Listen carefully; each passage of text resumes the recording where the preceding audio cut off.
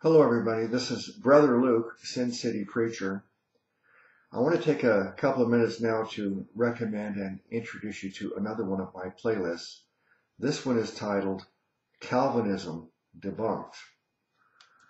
Now, there are many uh, biblical Christians who are truly saved and believe correctly about the gospel who think that Calvinism, even though it is wrong, they are willing to accept a Calvinist as a as a, a saint and a, as a uh, a brother or sister and even fellowship with them.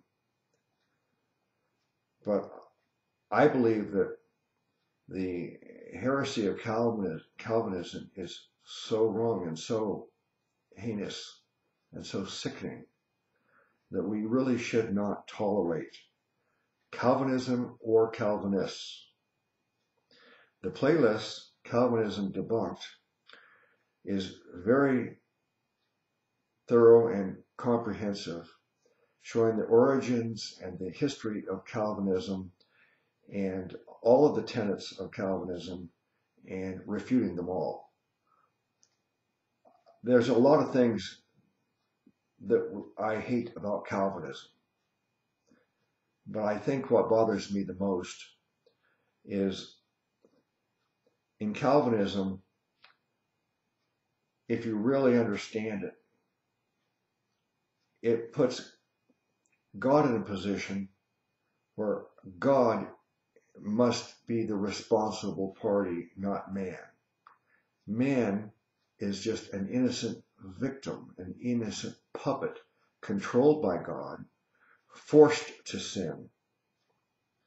And God is actually making man sin.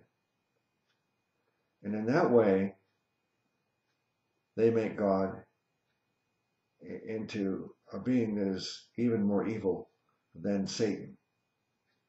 In fact, Satan would be an innocent victim in Calvinism because God is even controlling everything that Satan does.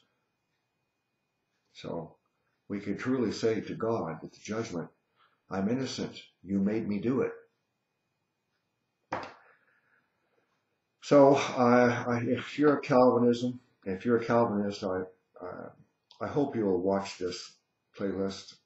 I hope you will open up your mind and really reconsider this evil philosophy. Uh, and if you know a Calvinist, I hope you'll send them this playlist. Share it with them. Thank you for watching. Bless you in the name of our great Savior God, Jesus.